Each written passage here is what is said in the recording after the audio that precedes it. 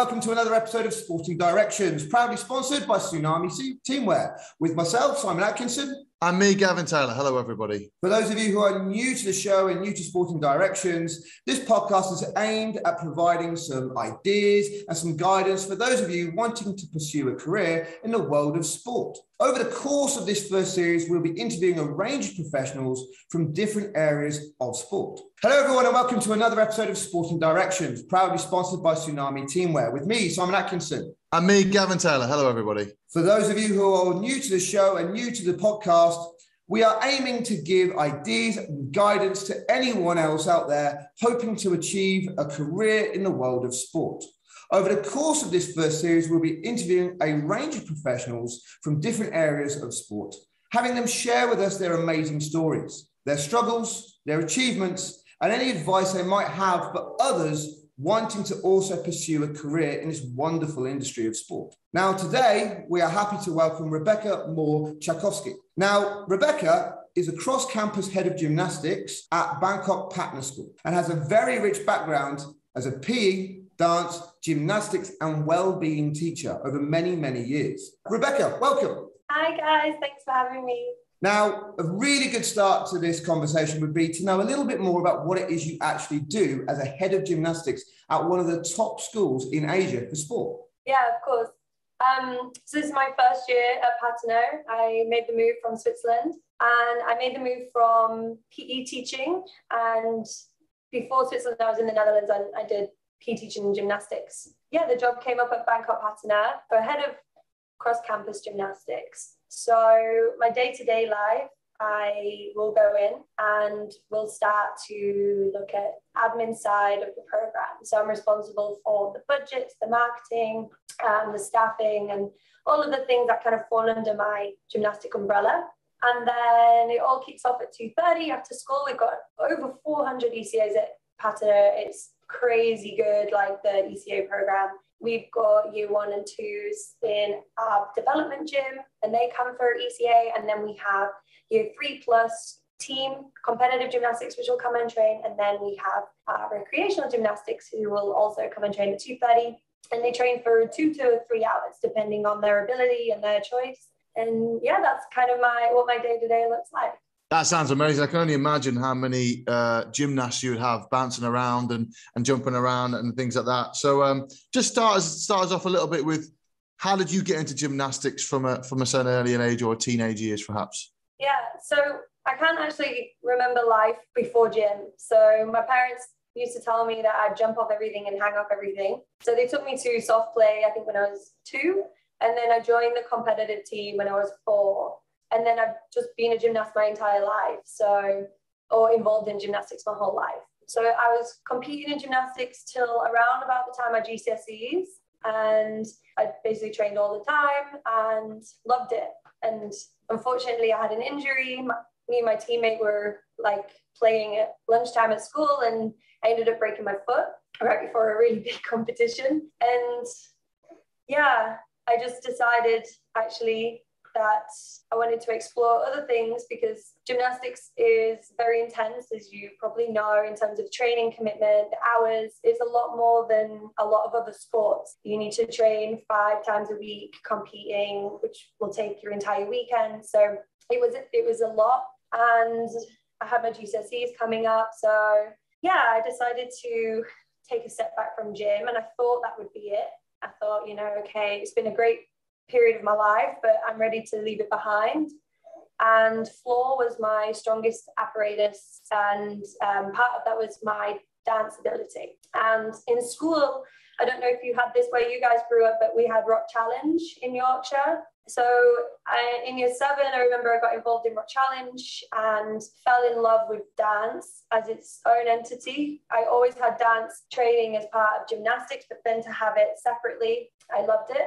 So I decided to transition. Uh, I think at 14, I started taking proper dance lessons like tap, ballet, modern, jazz. And so I was a very late starter coming into the dance world. So yeah, and then at 16, when I went to sixth form, I just had this missing feeling inside. You know, I'd stepped away from gym for just over a year, I think, maybe a year and a half. And I just knew I had to go back. Like I was missing it. It was like a hole in my in my core. Um, so I went back to my local gym and I just volunteered coaching. And I volunteered for about a year, and my coach put me through my level one. She was like, if you like it, great. If you don't, you know, no worries. And absolutely fell in love with coaching. Yeah, I kind of I met my GCSE dance teacher as well. So I already knew she was like a huge inspiration for me. And I already knew that teaching was going to be my future. Like very young, I knew I needed to be a teacher. It was like a calling, I guess. I, have just felt it. Um, and then coaching as well, just kind of was there. So I had these two options teaching in schools and coaching gymnastics. Throughout my A levels, I was coaching and increased my hours of coaching as well, increased which classes I took. So from recreation, I went up to the development squad, and I was really drawn between, um, like torn, sorry, between dance and PE because I had these skill sets. Because as well in school growing up, I was always part of like the athletics competition, played netball for my school. So I was very, very sporty. Not as sporty in teams as I'd like, because I didn't really have the time because I was always at gym. But I'd always represent my school. So I loved sport and I loved dance. And I was like, I don't know what to do. And then I decided to take a gap year. And my school didn't allow me to do PE and dance at the same time for A level because it wasn't in the blocks. So I chose dance. And then I was like, I don't know if that's right. So in my gap year, I went to college and I did BTEC in sport so that I had that A level style option to give me a better kind of, I guess, more information to make that decision for what I want to do at university. Do I want to go down sport? Do I want to go down dance? And within that gap year, I then did my level two gymnastics coaching two and level one, two, and three cheerleading coaching and started working for the local council who had subcontracted my gym to do sport community outreach. So I'd go into the local secondary schools in the area and do after school clubs for these kids, yeah, in, in gymnastics and, and cheerleading. So that was kind of my journey up until university. And then I had a big decision to, to make. Awesome. It's really good to hear the different stages that you took. And I wanted to kind of dig a little bit more into the into the passion for gymnastics in terms of where you you've got to today. Obviously, it's great that you've been able to dip into other areas, and obviously, dance is very much linked to gymnastics. I know there's a clear difference, but they obviously do go quite hand in hand. So just tell us that kind of, or spend a bit more time telling about that eureka moment, right? So you said to us, you, you did your level one and you absolutely loved it and you fell in love with, you know, obviously you love gymnastics from a personal point of view, but you fell in love with coaching. And then you did your level two and you did obviously a bit of cheerleading and obviously that's sort of linked to, to dance and gymnastics as well. And then you went off and did some volunteer hours in the community and then tried to give a little bit back. So just talk us through that little bit of a, a that eureka moment when you realized okay, being a gymnastics coach is the career for me. Um, and if you can then tell us a little bit about when you found that eureka moment, what did you, when did you go, okay, what is my eureka moment and how am I going to turn this feeling into a career? I always knew I loved it, but I was very headstrong as a kid and I just knew I wanted to be a teacher.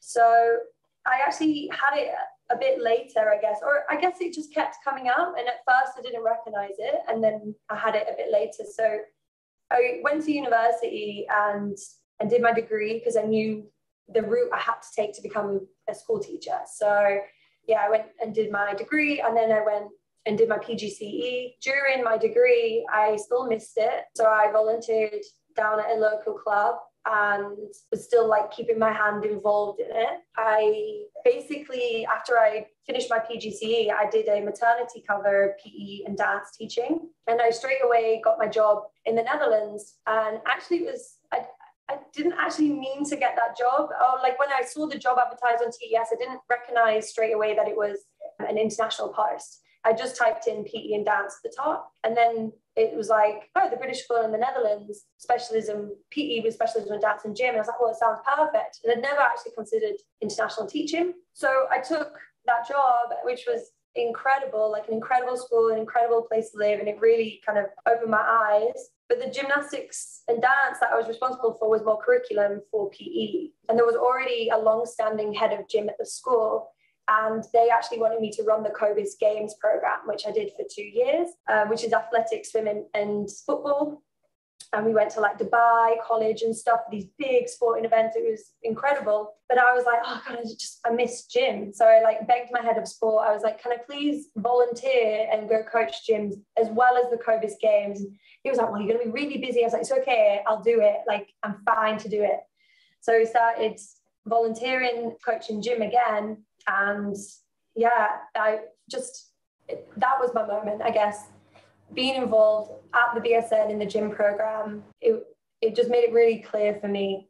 So then I, I volunteered for two years as part of the gym program and kind of became part of the family. The guy who set up the gym program ran it for 38 years and he is a legend in the BSN. We all love him. He retired and they kind of appointed me as the next cross campus head of gymnastics. So that was a big responsibility taking on a 38 year legacy. But yeah, we were very close. He was like my gymnastics father. And yeah, so then I ran the program at BSN as well as being a full time PE teacher for three years. And then, yeah, decided to move to Switzerland, which is another, I guess, twist and turn.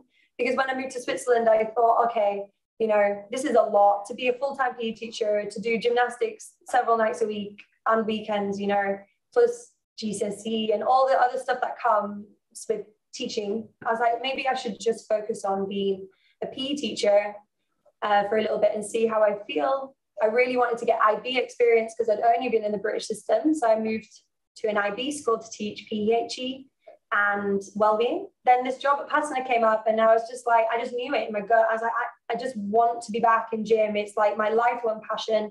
It's the only thing in my life which I just cannot seem to leave behind. Total first love. So yeah, I went for it, and here I am. So.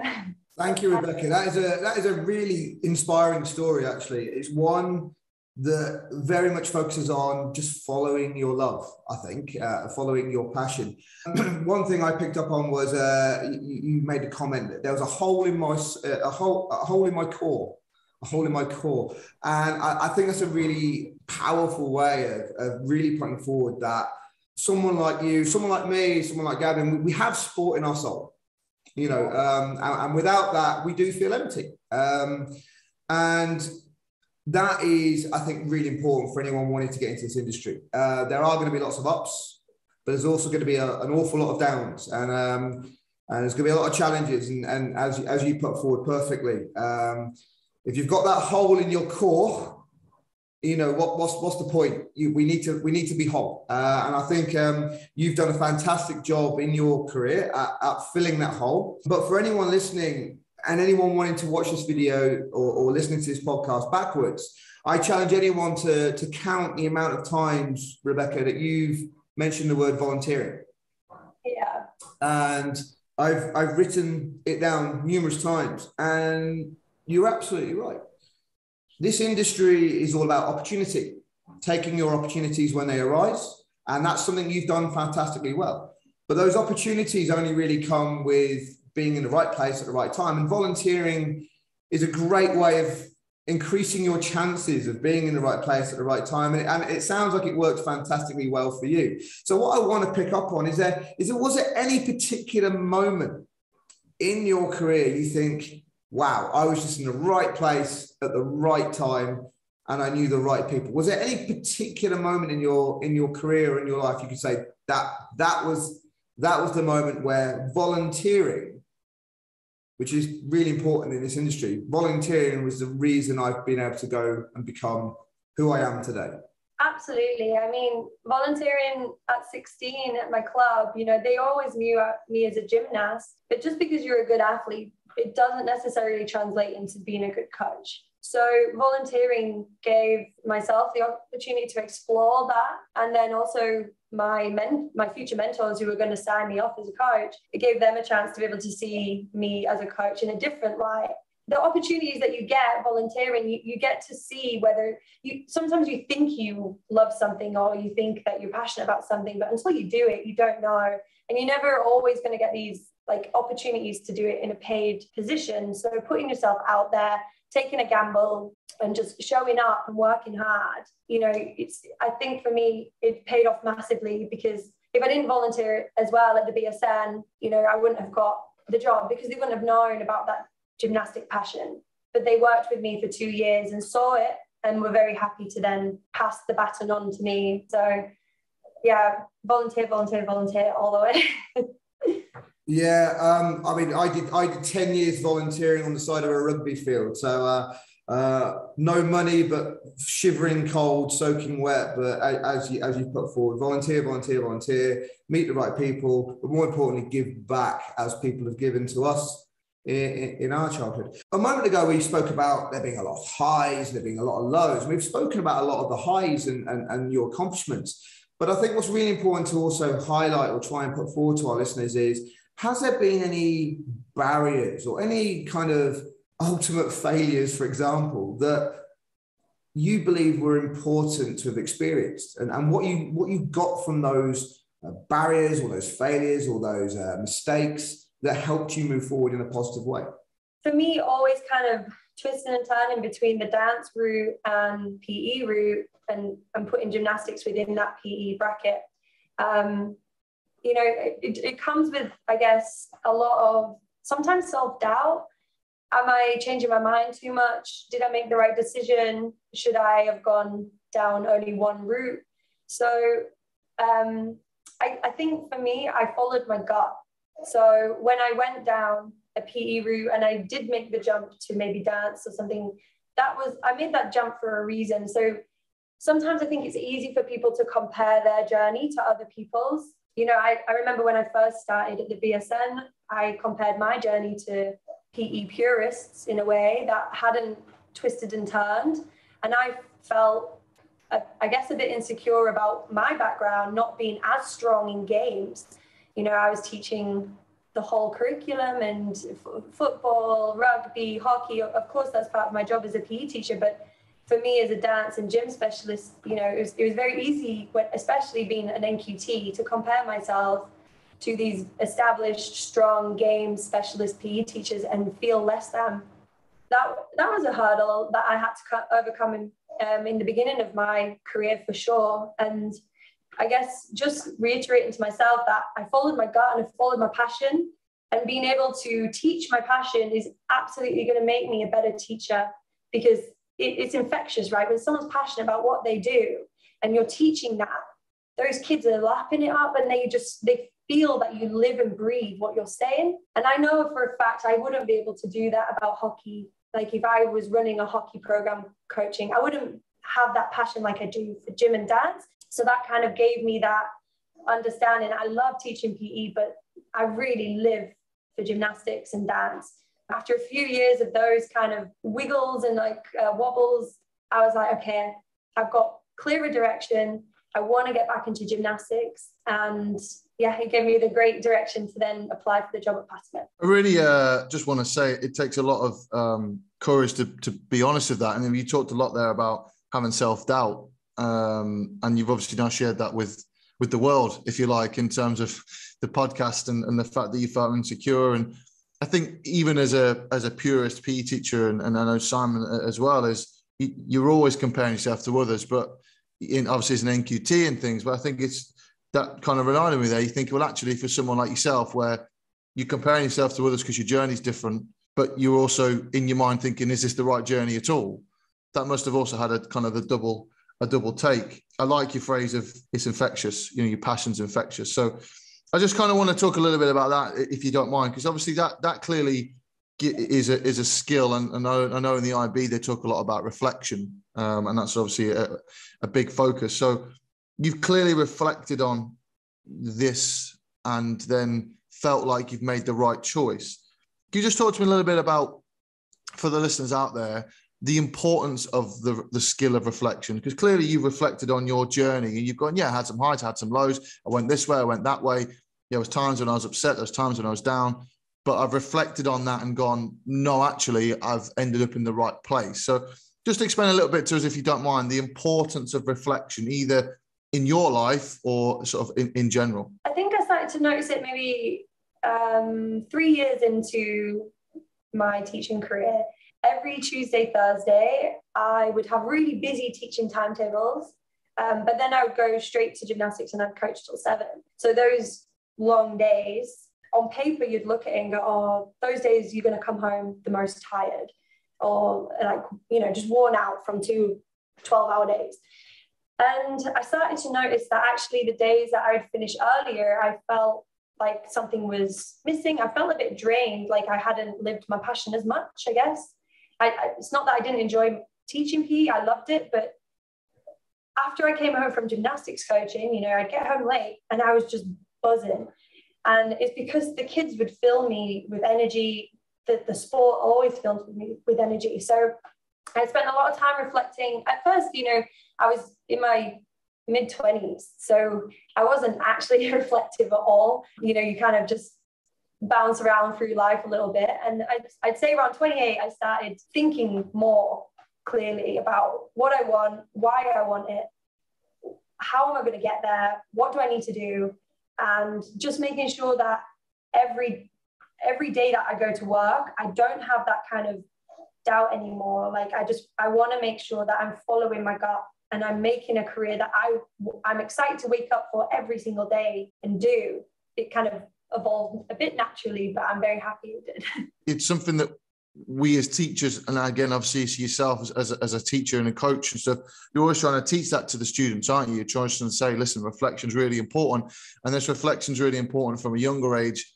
And as you've said yourself, you know, in your mid 20s, you're still reflecting as an adult and going, hang on a minute, I'm having to take a step back and am I doing the right thing? And and and you know, it, it's a really important skill, and, and it's one that it's come up a lot over our conversations with different people. But with your conversation and your story, I think it's become really prevalent because you've spent a lot of time talking about decision making and am I making the right choice? And and obviously it's worked out brilliant for you because the end goal is you're now at a top school in the role of you, that you're passionate with.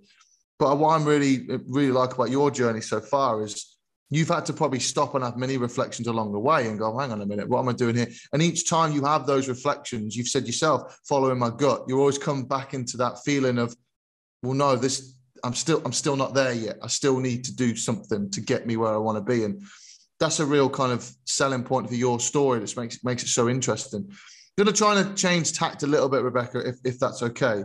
Um, I am a young enthusiastic male or female listening to this podcast, I've listened to your story and I'm really excited about the fact that I'm talking. Sorry, I'm listening to someone that's hugely passionate about gymnastics. I want to be you. I want to get to where you are. You've talked a little bit about you're doing your level one, you've done your level two. Um, just talk to me a little bit more about if I was a 14 or 15 year old listening to this and I've got a real passion to be a gymnastics coach, what qualifications or directions do you feel? And then obviously there knows there's lots that you can go. Obviously yours is one way, there's other ways, but what kind of coaching qualifications or things do you think that I definitely need or I definitely should explore if I wanted to become a full-time gymnastics coach? For the listeners, I'd say go down to your local gym because any gymnastic coach would lap you up in a second. So if you are there wanting to volunteer and give time, absolutely, they will take you on board. I'd be very surprised if a coach turned an enthusiastic helper away because with gymnastics, you've got your coach to gymnast ratio for safety. So that's quite restrictive. And when you take apart a skill into lots of micro skills, so if you take even the backward roll, a very basic skill, you might have six or seven stations that will break down that skill. So to have an extra set of hands and to correct basic technique, it's, you know, that if you're a volunteer, you can make a big difference to kids' development. And uh, and then I would say to go down the traditional route. So I did my coaching with British Gymnastics, and they are awesome. Um, I've done several courses with them, and every time I've loved the course. The course is very hands-on. We've learned a lot. Yeah, just see where the local course is in your area. The website's very clear as well and super easy to use. So you can always select what county you're in, what level you want. They've got very clear flow charts as well for those pathways. Um, but yeah, trying to get at least, a, I guess, a level one under your belt, just so that you're cleared from a health and safety perspective. But going back to that volunteer theme, so yeah, just turn up, ask. my dad was always a big um, advocate. I remember when I turned 13, uh, he was like, right, Bex, it's time to go get a job. And I was like, well, I don't really know who's hiring. So he just basically made me write down my skills on a piece of paper and made me walk around and hand them out. And he was like, you don't ask, you don't get. So that's kind of something that I guess has st- stuck with me a lot and take that risk and ask. If someone says no, you're in the exact same position that you're in right now, but someone might say yes and it might change your life. And that's kind of, I guess, how I've fallen into opportunities as well. Like, like another love of mine has been academic side of education. Yeah, I can talk to you a little bit more about that. It's not as sporting specific, but that's the kind of passion which has kicked off in me the last four years. And that came from me asking for funding for my master's, asking to go on leadership courses, and my school recognizing this new passion of mine and supporting it. So, yeah, you don't ask, you don't get. No, I, I love that. Um, so, like yourself, Rebecca, I'm, I'm from the UK, uh, as is as is as is Gavin. Um, but unlike Gavin, I come from a northern family, like yourself, Rebecca. And I think the if you don't ask, you don't get is uh, a mantra up north, um, because ultimately, if you don't ask, you don't get anything ever. but it, it's definitely a very, very good mantra to have that one uh, moving forward in life because you're absolutely right. If you don't ask, the opportunity will pass you by. Um, if you don't ask, people don't know you're interested. I think that's the biggest one. Yeah. Um, and and like yourself, you know, I'm I'm I, I've done a master's. I've uh, which I I very you know graciously took funding for with my school. I've you know I've, I've, I've done I think over 30 different level ones and courses. But again, I've done it in random sports that, that I've, ne- I've never actually gotten around to teaching or had the opportunity to teach because again, if you don't try it, you don't know. So I'm kind of evolving that mantra of if you don't ask, you don't get. I think as well as that is if you don't try, you don't know. Yeah. Uh, yeah, that's a that's a that's another one to to bring in as well. And um um move, move, moving forward, however, is we've heard about all this volunteering Again, really important thing to highlight the volunteering. We've heard about if you don't ask, you don't get. We've heard about if you don't show up or you don't try, you'll, you'll never know. That's what's gotten you to where you are today. What I want to know is what's next? What's next for, for yourself? Where, where, where do you see yourself going now? So you've, you've attained one of the, the top positions in the world in your career or in your, in your, in your field what's next? Where, where, where do you see, where's the next passion project? Where's the next uh, direction for yourself? A new passion that's kind of popped up and it kind of surprised me a little bit would be academia. I absolutely love, like, I, I love studying and I love research. So I'm toying with the idea of maybe going into this direction. And I have been thinking a lot about my love for teaching and academia. And I think it, I'm not ready yet. I'm still young and able, but gymnastics coaching and PE teaching is like it's hard on the body. Um, I know I can't do it forever, or like, especially not gymnastics coaching. You know, you're always lifting and throwing kids. So um, I I would love, I think, to be a PGCE lecturer. I would love to be able to teach teachers how to teach or aspiring teachers how to teach and, and kind of go into academic research behind teaching. I'm very passionate about gender. That's kind of my focus point. Social justice issues in education as well have been a big focus point for me throughout my master's. And yeah, I'm, I'm very passionate about that. So potentially, I'm toying with the idea of maybe doing uh, further education again. Um, but I'm not going to say it for sure and commit myself, but it's definitely on my mind.